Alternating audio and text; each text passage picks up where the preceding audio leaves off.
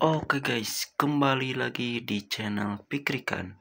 Seperti biasa kita akan ngomongin bola. Yang pertama kita akan ngomongin tentang Eliano Rister yang antusias sambut status WNI, singgung fanatisme pendukung timnas Indonesia. Jadi, calon pemain timnas Indonesia yaitu Eliano Rizders tengah menjalani naturalisasi demi bisa menjadi bagian skuad Garuda. Terbaru, ia hadir secara daring dalam permohonan rekomendasi naturalisasi di rapat kerja Komisi 3 dan ex-DPR RI. Eliano tampak begitu antusias menanti status barunya sebagai warga negara Indonesia atau WNI.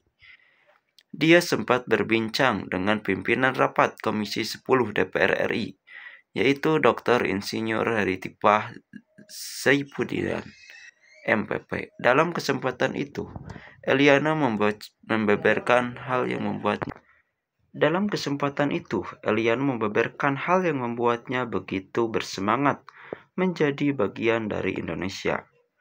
Perbedaan besar, Indonesia adalah negara yang besar dan sangat mencintai sepak bola. Di Belanda, orang suka sepak bola, tapi juga suka dengan olahraga lainnya. Kata Eliana Rinzer, di sela rapat pada Selasa 17 September 2024 sore waktu Indonesia Barat. Sangat bagus, supporter memenuhi stadion. Saya melihat ketika Indonesia melawan Australia, banyak orang yang senang dengan hasil itu. Kita bisa mengamankan satu poin yang tentu sangat bagus karena kita bisa mendapatkan lebih ke depan, katanya. Saya bisa bermain di berbagai posisi berbeda. Saya senang bermain di tim ini, bersama rekan satu tim saya di timnas Indonesia. Karena saya banyak bermain di Belanda, saya bisa membantu tim Indonesia menggapai posisi di Piala Dunia dan mungkin bisa lebih dari ini, ungkap Eliano dengan percaya diri. Bagaimana pendapat kalian tentang Eliano Ranger ini yang antusiasme untuk menjadi warga negara Indonesia atau WNI? Berikan pendapat kalian di kolom komentar. Selanjutnya kita akan ngomongin tentang alasan Sintayong pilih Miss Hilgis dan Eliano Rizders untuk timnas Indonesia yang diungkap oleh Menpora. Jadi tiga alasan Sintayong pilih Miss Hilgis dan Eliano Rizders untuk timnas Indonesia diungkap oleh Menpora. Di depan Komisi 3 DPR RI, Menpora menjabarkan tiga alasan dipilihnya Michelle Gers dan Eliano Rizders sebagai calon kuat naturalisasi timnas Indonesia yang diajukan. Berikut penjelasan pemilihan Michelle Gers sebagai calon kuat pemain naturalisasi timnas Indonesia. Yang pertama, proyek jangka panjang dan pendek.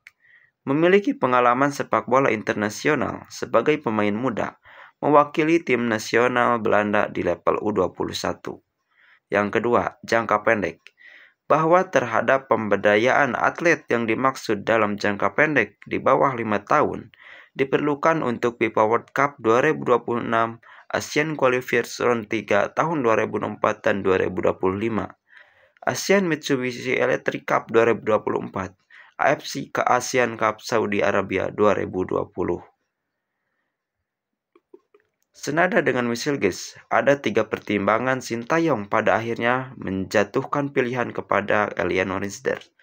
Satu proyek jangka panjang dan pendek, yaitu memiliki pengalaman sepak bola internasional sebagai pemain muda. Yang kedua jangka pendek, bahwa terhadap pemberdayaan atlet yang dimaksud dalam jangka pendek di bawah lima tahun diperlukan untuk FIFA World Cup 2026 ASEAN Qualification 3 tahun 2024 dan 2025 ASEAN Mitsubishi Electric Cup 2024, AFC ASEAN Cup Saudi Arabia 2027. Yang ketiga, jangka panjang. Pemberdayaan atlet yang dimaksud jatuh target jangka panjang di atas 5 tahun, yaitu ranking 100 besar FIFA, 10 besar Asia, FIFA Matchday. Setelah menimbang pemaparan Menpora di Toa Aritojo soal landasan serta alasan pemilihan Misilkis dan Eliano Richter untuk dinaturalisasi, Wakil Ketua Komisi 3 DPR RI, Pengarang Khairul Saleh pun meminta persetujuan kepada peserta rapat terkait pemberian kewarganegaraan untuk keduanya. Kawan-kawan apakah setuju? Tanya pangeran. Kami setuju, ujar anggota Komisi 3 DPR RI F. Golkar Supriyansa.